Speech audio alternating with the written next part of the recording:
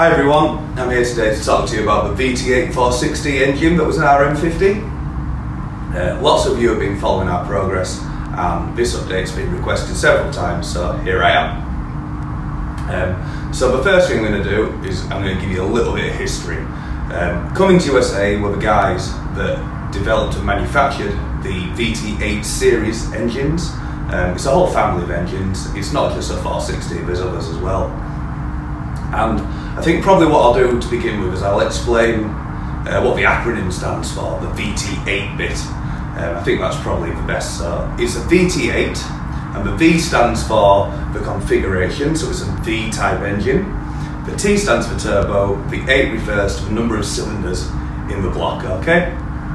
So basically it's a turbo V8. And the three digits at the end, the 460 in our case, actually refers to the output. So it refers to the horsepower, and, and that's why they are named that way. So it actually gives you the specifics of the engine before you begin. Okay, so Cummins, as I said, were the guys that developed the engine and manufactured it. Um, the family of engines were first developed in 1952, and that started with the VT8 350.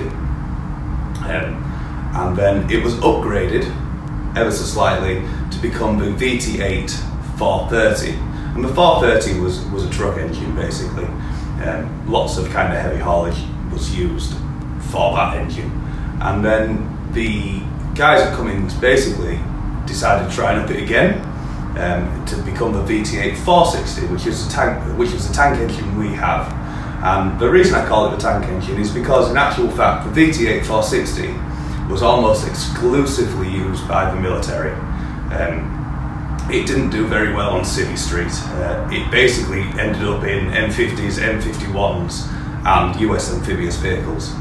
Uh, it, it, was probably the size of it that made it unpopular, but for a tank, it's, it's not so much of a problem because there's plenty of room. okay. So, we have now got to the point where we have started to rebuild our VT8 460, and we've been working really hard to find lots of spare parts. Um, our tank engine has suffered quite a bit of damage with the cold. Um, spare parts, as I said, of, of, what we've been lacking and what we've been finding, um, because it was a military en engine only, there wasn't very many of them made. Um, so, of course, that then leads to there not being very many spare parts. Um, we've been very lucky um, we've been able to find the parts uh, improvement bulletins, which were released by Cummins. And basically, what's happened is when Cummins have developed the engine, and tried to increase the horsepower from the 430 to the 460, um, they've basically gone in and messed about with every bit of the engine to, to basically upgrade it and make it more powerful to get that extra bit of horsepower. And we've been lucky because we've then been able to find the PIBs, and we've been able to source the part numbers. So we've found pretty much everything we need now, and the last bit of our restoration really was repair of the block. Um, our block has suffered quite badly from cold. It got frosted at some point. We don't know when that happened. Um, for all I know, it's the reason the tank was stopped in the first place. It could have happened when it was over in the UK, or it could have happened here for all we know. Um, we don't think it did. We just we can't. We've absolutely, it's all a guess. So we've decided to repair it. And we've now got a, a quick video from David Driggs, and he's going to show you exactly how you repair a, a cracked block. Uh, I uh, hope you find it interesting. So this cylinder head here, which has been pressure tested, uh, and we've located all the cracks, which, you can see closer there, has now been centre punched, which is ready um, to be drilled, and then each place is tapped, um, and then one of these special screws is put in, which when it gets tight, it's a taper, snap off, mm-hmm.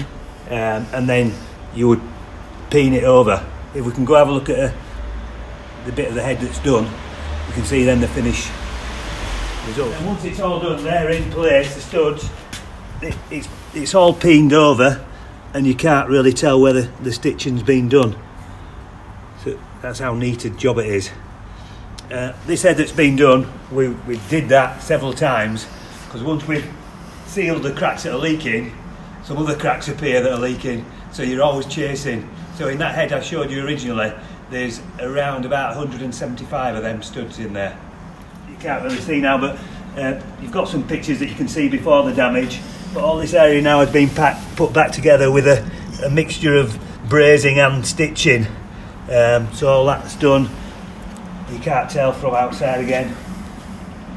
Hopefully it'll run forever now. So now that Dave has explained how the block has been fixed, um, I'm going to explain to you why. Um, lots of you will be asking, why didn't we just put a modern day V8 diesel in? You know, it's only 460 brake. We probably wouldn't need 460 brake anyway to keep our tank running.